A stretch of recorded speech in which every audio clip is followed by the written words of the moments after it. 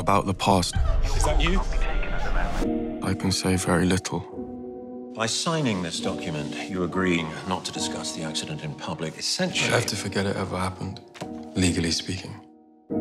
Something fell down from the sky, and then nothing.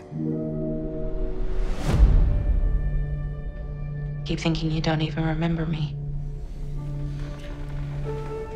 I have big gaps, but some things are starting to come back.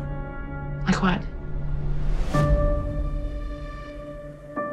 I need you for this, Naz. It won't work without you. Is this a childhood home?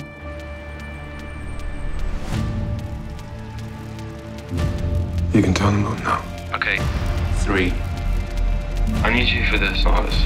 Two. It won't work without you. One.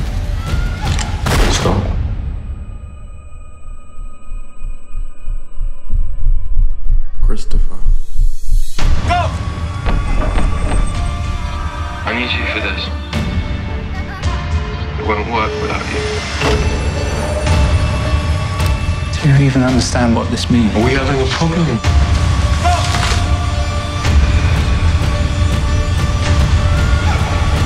Stop. Reverse.